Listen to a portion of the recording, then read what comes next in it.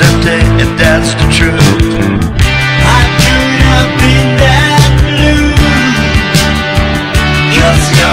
that said you had so much to give, but all you ever did was take.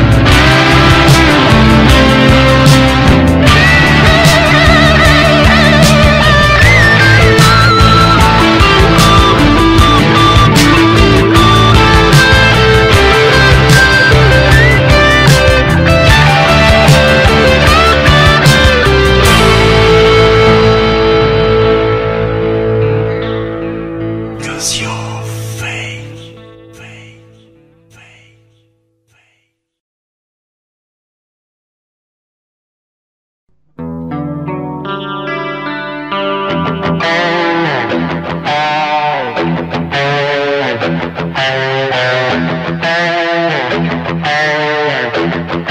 you.